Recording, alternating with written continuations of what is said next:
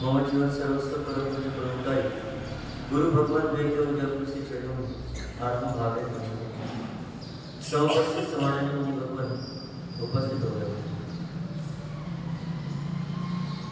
दीपावली पर्व के साथ ही परमात्मा का निर्वाण उत्सव भी हमने मनाया। और इस चातुर्मास में प्रारंभ से लेकर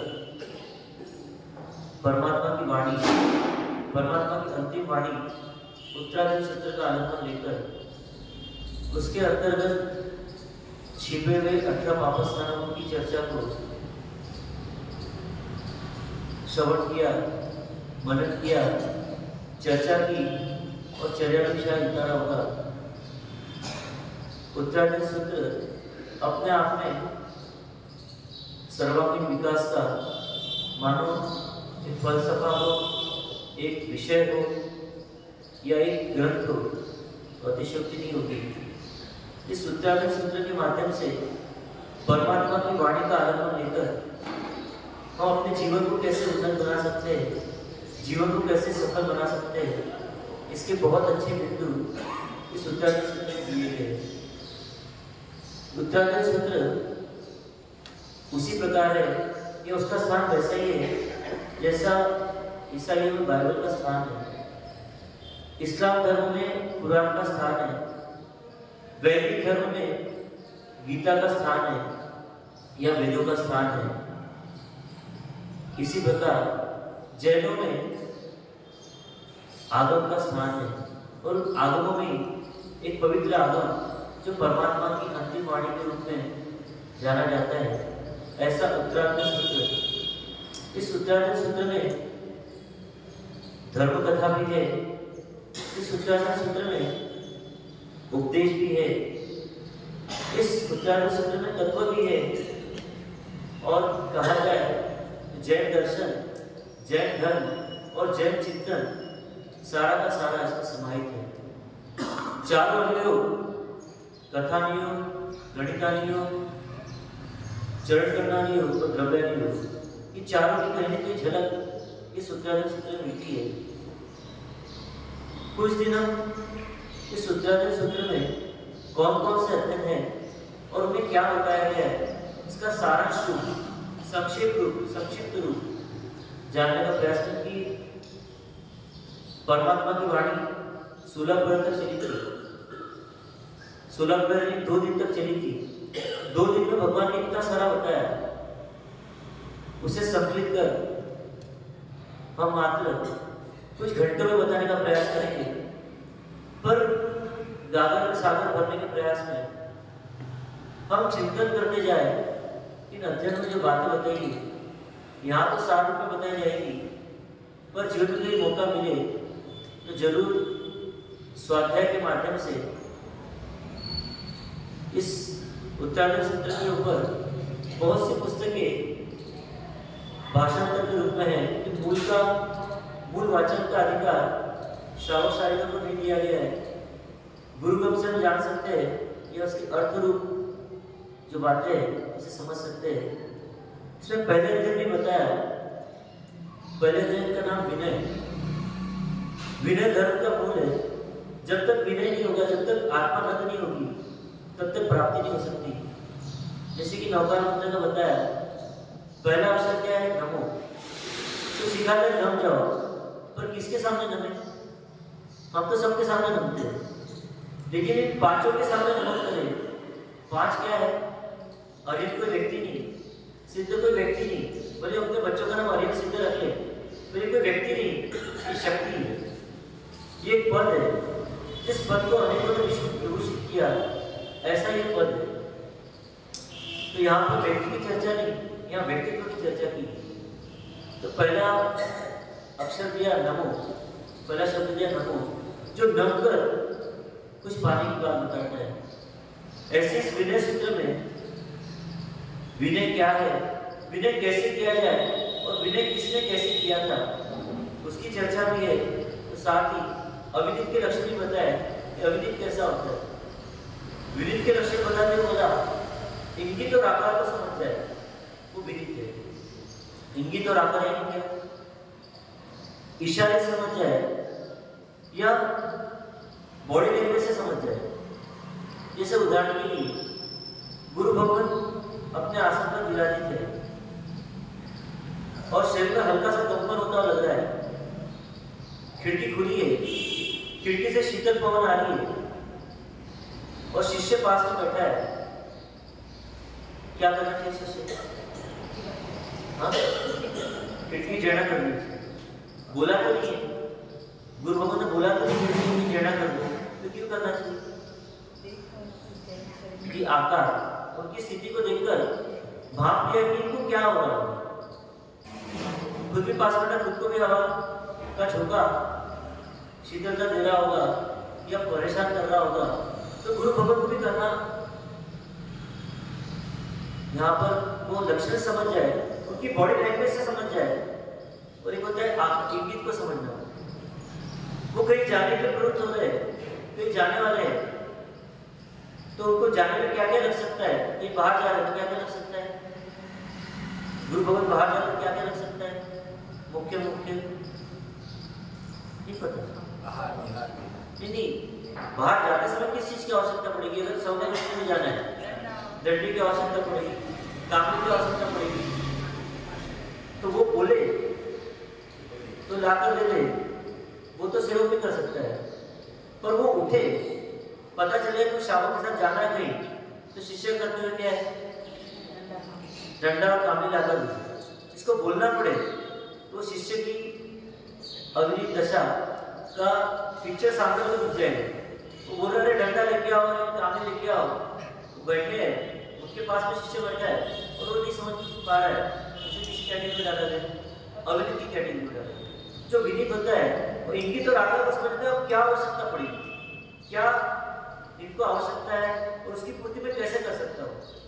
इनकी तो राधा को जो समझ ले, वास्तव में शिष्य होते कई उदाहरणों के माध्यम से इसने बताया कि विनीत के लक्षण क्या और अविनीत के लक्षण क्या? गुरु महाराज ने आवाज़ दी तो वहीं से क्या काम है? ये गए, ये पास आकर जी गुरुदेव, क्या काम कुछ रिलैक्स सेवा? बोलने में पोलाइटनेस आने में पोलाइटनेस कोई काम सौंपा? उस काम को सौंपने के बाद, उस काम की पूर्णावधि में वापस आकर बताना? ये कहाँ सुनते हो? कल्पसूत्र में जब? वृत्तांत सुनते सिद्धार्थ विवेक का उसमें एक वाक्य आता है कि आकर, आज्ञा वापस समर्पित आज्ञा वापस ली यानी क्या? सेवकों कुछ काम दिया कि तुम अनुभव काम कर लो। तो काम होने के बाद वो सेवक क्या करते हैं? आकर विदित करते हैं कि, हे राजन आपने जो कार्य सौंपा था, वो पूर्ण हो गया है और उसकी आपको खबर देने हम आए यानी आज्ञा को वापस लेने आना कि आपने जो काम किया तो काम पूरा हो गया। ये विनय के लक्षण ऐसे कई उदाहरण इस विनय अध्ययन गए फिर दूसरा अध्ययन आया। परिचय होगा। परिचय यानी परिचय परि यानी चारों सहन सहन पर सहन कैसे करना? दुखी होकर करना या संभावपूर्वक करना? जीवन में परिचय कई आते हैं और परिचय में हलाकान परेशान हो जाते हैं। और वहाँ पर संभावपूर्वक आने वाली परिस्थिति का स्वागत कर ले। ये आना था, मुझे स्वीकार है। जितना इतना स्वीकार वहाँ बढ़ता जाएगा। उतना उतना सहन नहीं करना पड़ेगा। मात्र उसकी ज्ञाता रह जाएगी परिस्थिति आई है इसे मैंने जान लिया। परिस्थिति जुड़ना नहीं है परिस्थिति मात्र जानना और देखना है। तो ऐसे कितने परिचय बताए भगवान? बाईस प्रकार का परिचय होता है कौन कौन से परिचय जो सुबह की क्लास में आते हैं? स्वाध्याय उनको पता होगा अभी विषय चला था। तो क्या क्या परिचय सताते हैं? कभी भूख सताती है कभी प्यास सताती है कभी ठंड कभी गर्म। कभी मच्छर काटते हैं दर्श मच्छर कभी वस्त्रों को लेकर, कभी रति जो चीज़ अच्छी लगती है, उसका वियोग न हो। कभी स्त्री परिचय, कभी आक्रोश परिचय, कभी मत परिचय, ऐसे बाईस प्रकार के परिचय। मुनि जीवन में भी आते हैं और गृह जीवन में भी आते हैं। गृह जीवन में भी आते हैं बाईस परिचय, गृह जीवन में आते हैं कि नहीं आते? आपको ही भूख लगती है, आपको ही प्यास लगती है। ये मुनियों के लिए बताया पर साथ में अपने ऊपर भी घटित करना कि हमको भी परिचय आते हैं। इन परिचयों में क्या करना परिचयों के समय संभाव रखना या विषम भाव पूर्वक आने वाली परिस्थिति से घबराना या उन्हें बाहर करने का प्रयास करना। तो इस अध्ययन में ये बताया कि बाईस की परीक्षा आएँगी, लेकिन उन परीक्षाओं को परीक्षा मानकर उसमें सफल होना। तीसरा अध्ययन आया।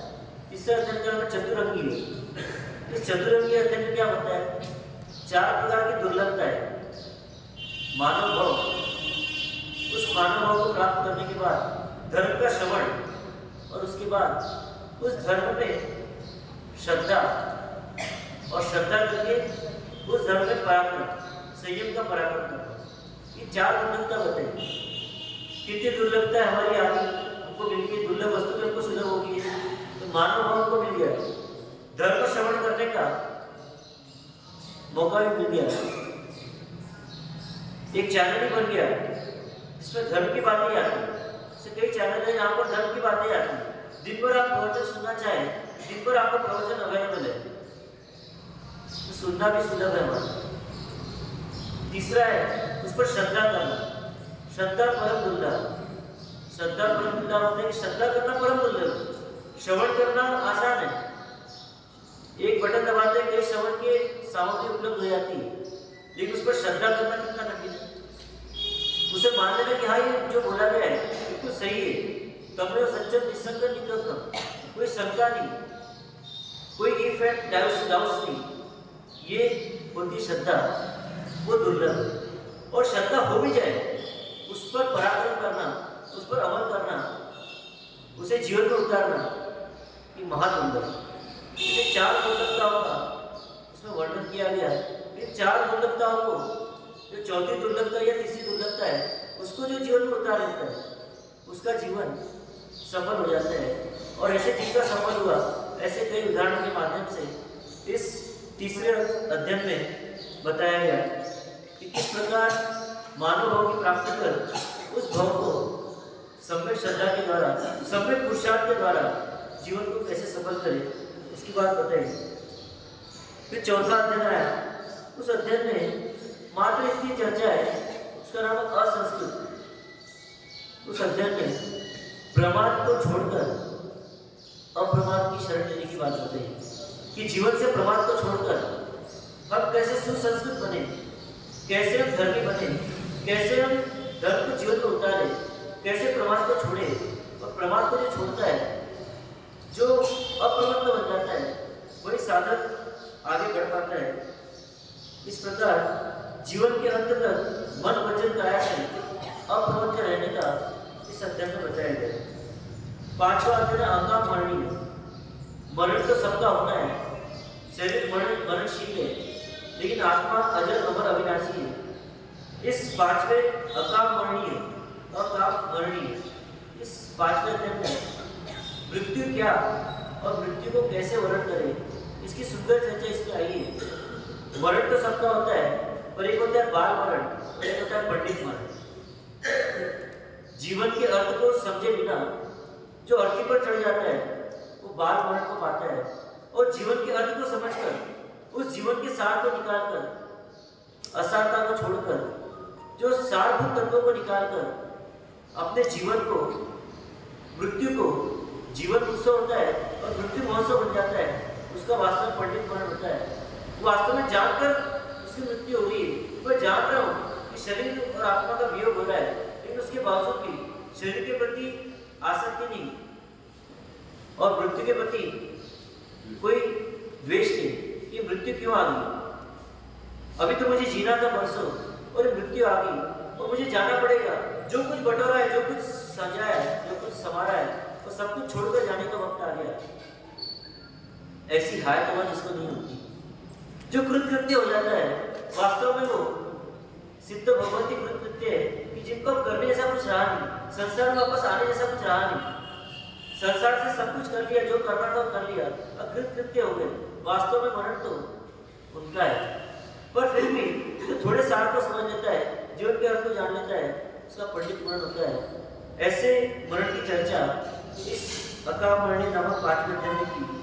और आगे अलग अलग अध्ययनों के माध्यम से परमात्मा को क्या बताना चाह रहे हैं? गागर में सागर भरने का परमात्मा कर रहे हैं। उसे जाति के हमें क्या करना होगा? सहजानंदी शुद्ध स्वरूपी भूमिला